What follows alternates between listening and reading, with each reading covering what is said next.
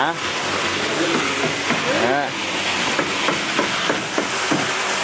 Vâng, trở lại à, kênh youtube của Đồ Tùng Gỗ Tùng 8 Xin trân trọng à, giới thiệu quý vị. Và hôm nay là 10 giờ ngày à, mùng 7 tháng 4 âm lịch năm 2019 Và tôi rất hân hạnh được đón vợ chồng anh Dũng Trung Ở Thanh Ba. Xã gì Thanh Ba anh nhỉ?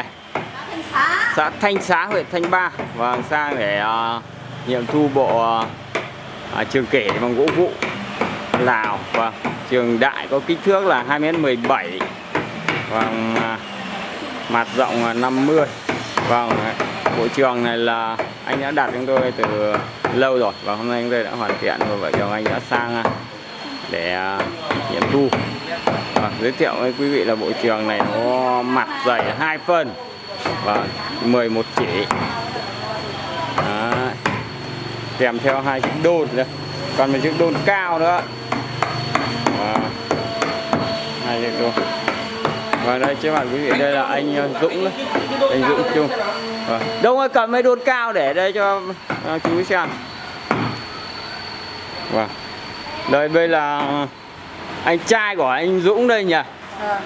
Vâng là cũng sang để nghiệm thu cái bộ cuốn thư câu đối. Vâng đây. Vâng gỗ Mita đây.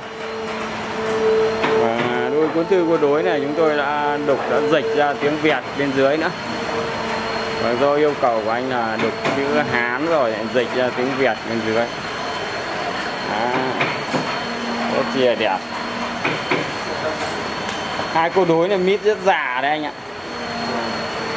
Già nhìn nó vằn đấy. Cái này mình có đánh lại nữa không hay là... có đánh cho anh đấy mới đang đánh sơ sơ đấy đâu phải đánh lót mấy lượt nữa xong mới sơn nữa. Đó. anh tên là gì nhỉ hả? À anh cũng tên là trung. Và anh cũng ở xã thanh xá. Thanh xá ở thanh ba. Còn đây là phu nhân của anh trung đây. À, hai vợ chồng anh trung. Đấy, sang để nghiệm thu bộ um, à, cuốn thư câu đối bằng gỗ mita à. nói chung hôm nay là hai em trai của anh. Hai cặp đôi hai anh em trai hai chị em dâu. À, sang để uh, em trai là đóng bộ sập à chứ xin lỗi bộ bộ chương kế. Và một chiếc kệ tivi cũng mít tôi vừa quay lúc trước rồi. Và, thế uh, xin uh, chân thành cảm ơn uh, anh Trung nhá.